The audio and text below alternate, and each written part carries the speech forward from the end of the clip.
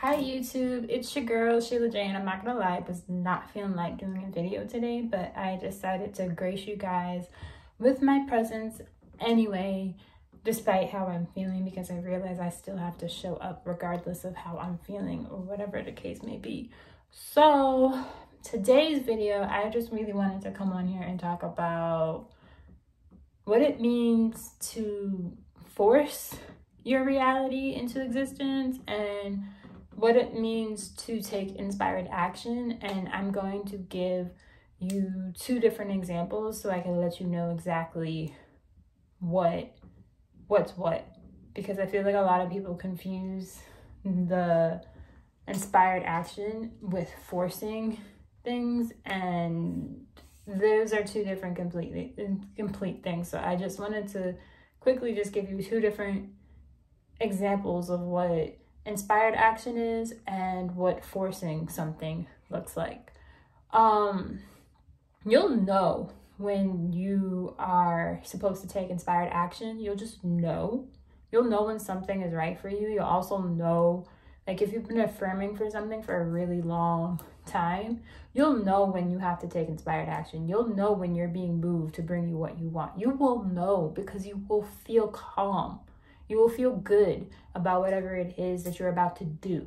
It's not you when you feel fo- like you're about to force something, you're gonna your gut is telling you're fighting with yourself. It always feels like you're fighting yourself. It always feels like it's not right. If it does not feel right, listen to what it's telling you because that means you're not supposed to do it. And I know this from example. Okay, example of this would be when I had four, three years ago, I had bought a car. I didn't want the car that I bought. And the dealership wanted me to put $5,000 down on the car. First of all, it was a car I didn't even want. I didn't like it. I didn't want it. I didn't want it, period. I knew I didn't want it. But outside forces told me to get it. But I knew in my heart, like overall, I knew that this was not the car for me. I knew that this, like, it just, it didn't feel right. But at that time, I wasn't so, I wasn't at the level that I am now. So I didn't listen to what my instincts were telling me. Even though I knew in my heart that this wasn't right for me, I still went ahead and listened to what everybody else was telling me. And in doing so, a week after I got that car, I sprained my ankle, which was the universe telling me, hey, you shouldn't have got the car because if I hadn't been at the place in which I had been at that time, if I didn't get the car, I wouldn't have been in the place I was at that right at that given time.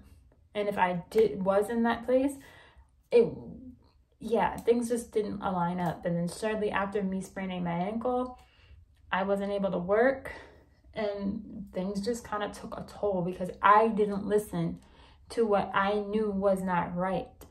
I forced myself to get a car that I knew in my heart I truly did not want. So that's how you know when something isn't for you. You like things just if it does if it just gives you a cringe feeling like hey I shouldn't do this I don't want to do this but you still feel like you're forcing it and you get what you want but it still doesn't make you happy it don't do it. Just don't. And when as you guys know according to my other video my uh my video about how I manifested my car that I'll link up here um as you guys know I manifested another car I was inspired to get my car. That month, there was a Monday. I literally, Monday, had this idea. Okay, I need to get a car. I went at almost seven o'clock at night when dealerships were about to close to go look for a car because I needed a car, but I took inspired action. I started affirming for the car. I started I said, I love my new car. I was affirming for it. I didn't know how I was getting this car. I have a repossession on my credit. How the hell am I getting a car? But I said, no, I'm still going to get it. Everything always goes in my favor. I always get what I want. I kept on persisting. I affirmed for it. I didn't test drive my car, but I knew it was mine. I just knew in my heart that that car was mine when I finally got it. Yes, there was all these different circumstances against me with getting, in terms of me getting the car, but did it stop me? No. But did I feel good after that? Yes, I did. After I got the car, I felt amazing.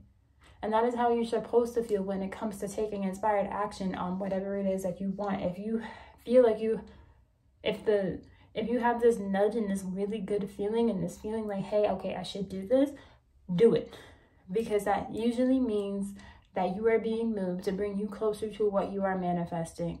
And as your journey on your little journey, you're going to want to listen to what your intuition is telling you. And if your intuition is telling you this is for you, keep persisting in what it is. Keep affirming for what it is.